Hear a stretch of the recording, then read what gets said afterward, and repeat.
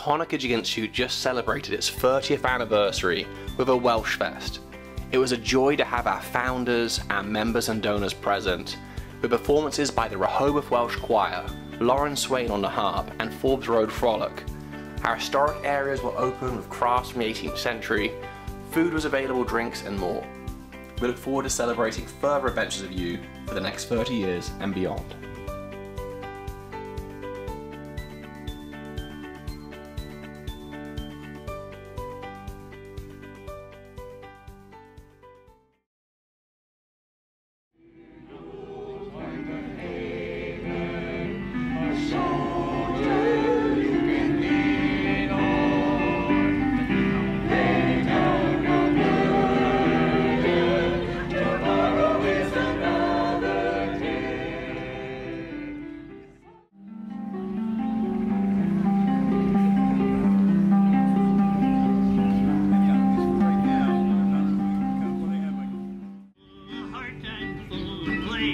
Till his mind he did uncover to faithful Lady Gay. Four and twenty British sailors met him on the King's Highway, on his way for to be married, breast he was.